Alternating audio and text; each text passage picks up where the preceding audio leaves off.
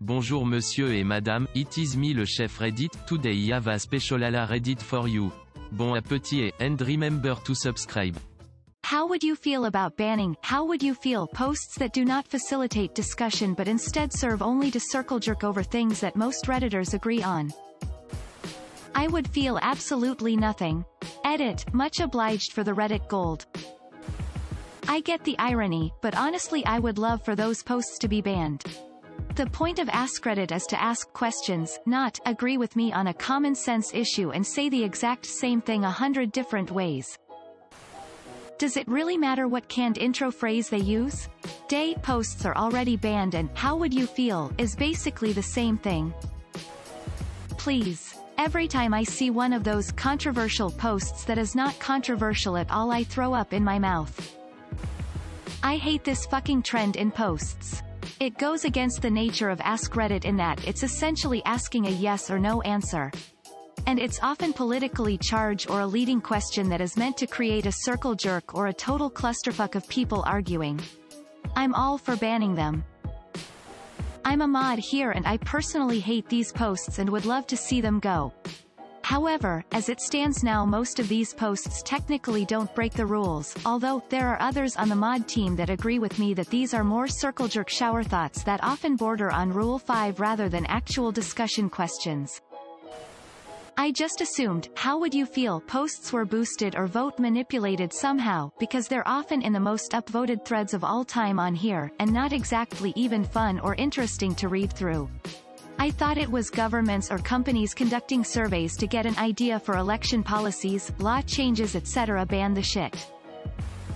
Fucking thank you. Redditors of Reddit, how many ways can we agree that Trump is literally Hitler? Redditors of Reddit, are old people bad drivers? Do babies on airplanes suck? Now what is the deal with airline food? Reddit's upvote downvote system encourages group think intrinsically.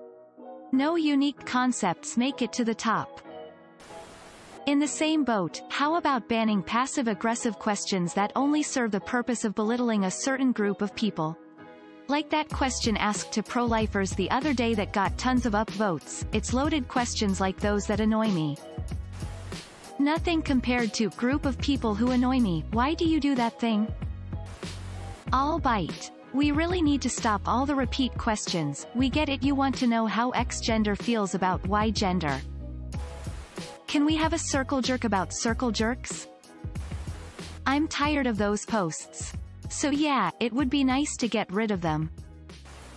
I just wish our Ask AskReddit involved less repetitive questions. Girls, guys what do you find sexy that normal people don't? Girls, guys how do you impress someone you're into? Girls, guys, what's our good first date ideas?